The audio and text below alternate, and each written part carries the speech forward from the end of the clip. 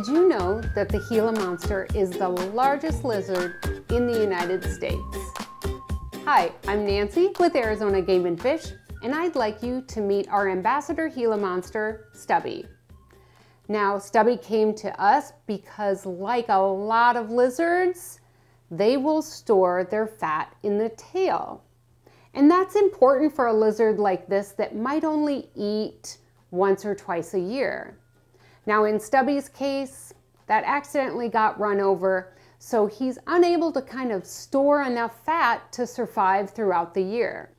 One of the really cool things about Gila monsters is their skin. These guys have what look like little bumps all down their back. Those are actually little bony pearls, a skeleton underneath there, and it's part of their protection. You may notice I am wearing gloves while I'm handling Stubby, and that is because he has claws and he's venomous. So I want to protect my arms and my hands.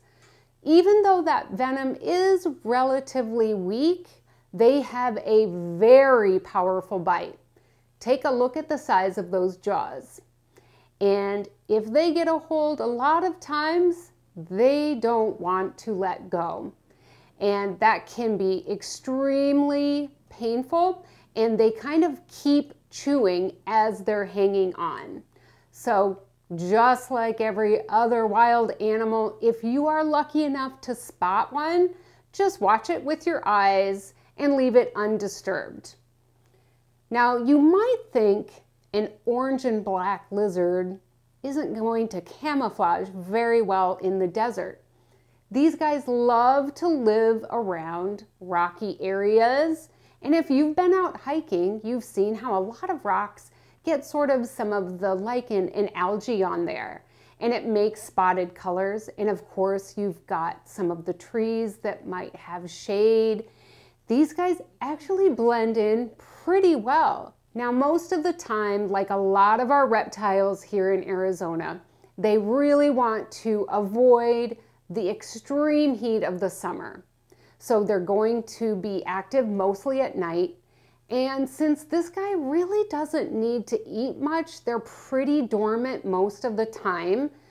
They can spend up to 90, 95% of their time down in a burrow. They have powerful front legs and some pretty good claws. So they can dig their own burrow and they can do it quickly. Um, or they might just kind of move in to one that's been abandoned. Now a guy like this is going to prefer to eat some small mammals or a favorite treat, eggs if they can find them. And unlike some of the other venomous animals we have here in Arizona, like the rattlesnake that has fangs, these guys have a different way to deliver the venom.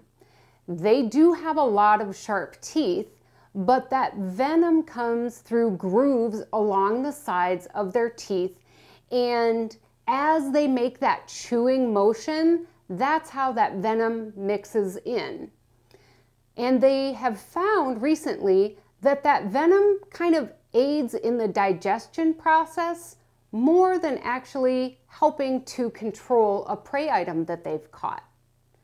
And they had to figure this out because this is an animal, like I said, that only eats maybe once, twice, maybe three times a year. And if we did that and you had one big meal, there'd be all sorts of blood sugars and things that would start going through your body and it would overwhelm your system.